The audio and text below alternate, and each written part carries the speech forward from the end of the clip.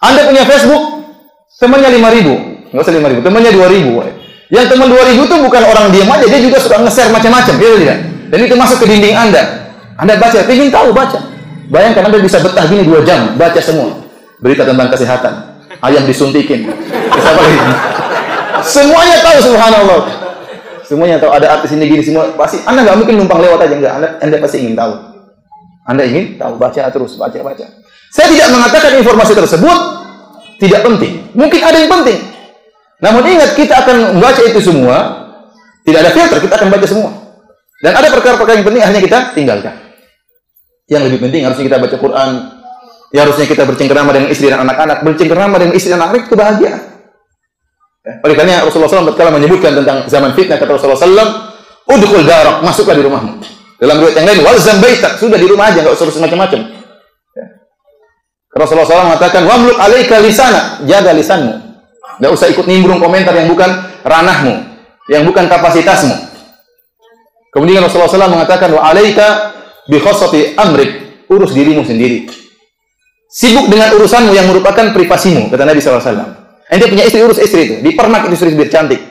Sibuk gimana istri suruh ini, anak-anak juga suruh ngaji Quran. Ih, urus anak istrimu. Itu datangkan kebahagiaan. Ente urus macam-macam yang bukan kebutuhan ente, bikin file apa namanya? Space di, di otaknya habis. Diisi dengan berbagai macam informasi. Waktunya Al-Quran masuk nggak bisa masuk. Kenapa? Sudah penuh harddisknya. Mau diformat gimana juga gitu nggak enak. Oleh karena perhatian Allah Subhanahu Wa Taala, saya cerita dengan tentang pribadi saya sendiri. Saya dulu punya Facebook, sahabat sampai full 5000. Orang tak Ustaz jadikan teman. Saya mau tolak gak enak, mau di reject gak enak. Saya terima semua meskipun saya nggak kenal. Orang datang Ustaz saya teman antum. Oh ya di mana di Facebook? Oh iya. ya sudah temannya gimana? Dia merasa berteman dengan saya, ya saya oke oke saja. Padahal saya nggak tahu 5000 pun saya nggak pernah lihat. Terus Qadarullah dihack sama orang.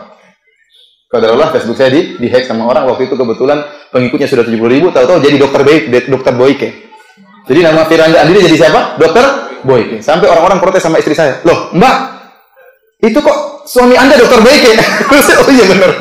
Ternyata saya jadi dokter apa? Boyke kok bisa saya juga nggak tahu? Para hacker semua masya Allah jago. Akhirnya saya tutup saya buka Facebook yang lain akun yang lain. Mulailah teman seribu dua ribu dan mulai bertambah. Sama, masuk terus di link saya, saya baca uang Ya, pengen tahu lah sebelum tidur meroja Facebook ya. Kita sama, ente ente enggak, ente jangan tertawain saya. Ente enggak. Ente juga kan sama, ngapain tertawa saya? Jadi seperti itu.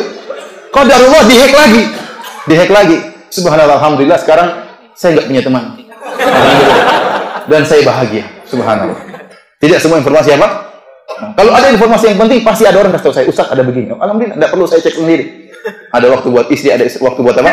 Anak-anak, ada waktu buat nulis disertasi, ada waktu yang lain-lain. Alhamdulillah, bahagia. Tidak semua perkara yang masuk di otak kita membuat kita bahagia. Terkadang bikin kita sengsara.